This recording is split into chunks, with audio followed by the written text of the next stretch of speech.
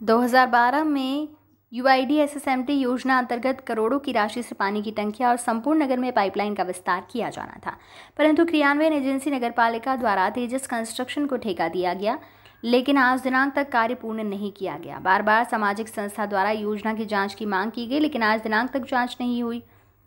संपूर्ण नगर की पाइपलाइन घटिया होने के चलते पुनः निकाली जा रही है। परंतु नगरपालिका ठेकेदार को लाभ पहुँचाने के लिए नगरपालिका कर्मचारियों द्वारा ठेकेदारों की खोदी गई पाइपलाइन का मटेरियल, दस कर्मचारी वाहन, डीजल का नुकसान कराकर ठेकेदार का मलबा उठाने में नगरपालिका जनता का पैसा बर्बाद में लगे हुए हैं। मानो जैसे योजना के करोड़ों रुपए का क्रियान्वयन एजेंसी नपा ने बर्बाद कर दिया।